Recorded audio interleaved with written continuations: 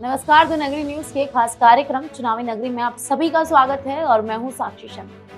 मैं एक बार फिर हाजिर हूँ एक और विधानसभा सीट के साथ, जिसका चुनावी समीकरण कांग्रेस, बीजेपी नहीं, बल्कि तीसरी पार्टी ने बिगाड़ रखा है। जहाँ पर कांग्रेस और बीजेपी अपना दाव भी नहीं खेल पाते। हम बात कर रहे हैं खीवसर विधानसभा सीट की। खीवसर विधानसभा सीट नागौर ज़िले में आती है। 2008 से पहले इसको मुंडावा क्षेत्र के नाम से जाना जाता था।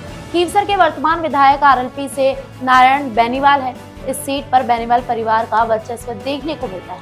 इस सीट पर पिछले 40 सालों से बेनीवाल वर्सेस मिर्धा परिवार की सियासी जंग देखने को मिलती रही। है यहाँ से कांग्रेस ने तेजपाल मिर्धा को उतारा है और बीजेपी ने रेवतराम डांगा को टिकट दिया है और वहीं पर आरएलपी से हनुमान बेनीवाल सबकी गणित को बिगाड़ने के लिए आ रहे हैं।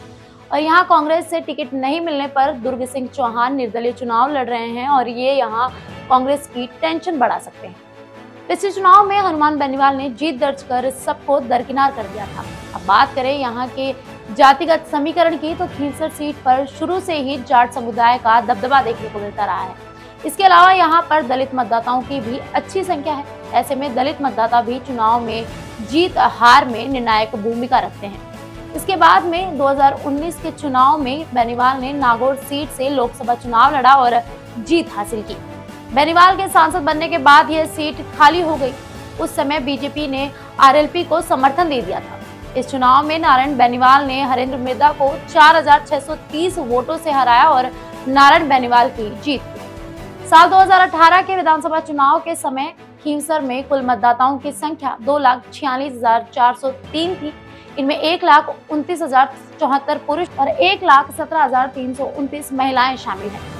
तेजपाल मिर्धा अपने परिवार की परिपाटी पर उतर के चुनाव मैदान में आए हैं और उनके सामने मुख्य मुकाबला हनुमान बेनीवाल से होगा। हनुमान बेनीवाल ने अपने भाई का टिकट काट कर खुद को चुनाव में उतारा है।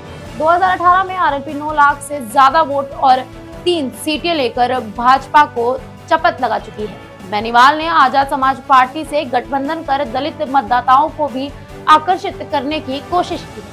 बात करें कांग्रेस प्रत्याशी तेजपाल मिर्धा की तो वे कुचेरा नगर पालिका के अध्यक्ष हैं। वे प्रभावशाली सियासी परिवार मिर्धा परिवार से आते हैं और इलाके में सक्रिय हैं। बात करें बीजेपी प्रत्याशी रेवतराम डांगा की तो ये राजनीतिक बैकग्राउंड वाली फैमिली से आते हैं। ये एक महीने पहले बीजेपी में शामिल हुए हैं और ये पंद्रह साल तक सरपंच रहे हैं और ये आरएलपी में विभिन्न पदों पर रहे हैं और इनकी पत्नी भी प्रधान है। बात करें आरएलपी के हनुमान बेनीवाल की तो उन्होंने अपने राजनीतिक जीवन की शुरुआत छात्र राजनीति से की। भारतीय जनता पार्टी की तरफ़ से वो 2008 में खींसर से विधायक बने थे, लेकिन वसुंधरा राजे से मतभेदों के चलते बेनीवाल ने भारतीय जनता पार्टी से इस्तीफा दे दिया था। फिर 2013 में निर्दलीय से वे विधायक बने। उसके बाद साल 2018 में उन्होंने राष्ट्रीय लोकतांत्रिक पार्टी के नाम से अपनी अलग पार्टी बना ली। राष्ट्रीय लोकतांत्रिक पार्टी के राष्ट्रीय संयोजक है हनुमान बेनीवाल। वे राजस्थान की खींवसर विधानसभा क्षेत्र के पूर्व विधायक है। हनुमान बेनीवाल नागौर लोकसभा से सांसद भी है।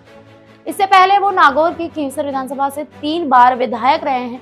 हनुमान बेनीवाल को अपने बेहद करीब रहे रेवतराम डांगा से चुनौती मिल रही है। बीजेपी से उतरे रेवतराम डांगा पूरा सियासी समीकरण बिगाड़ने के लिए तैयार है।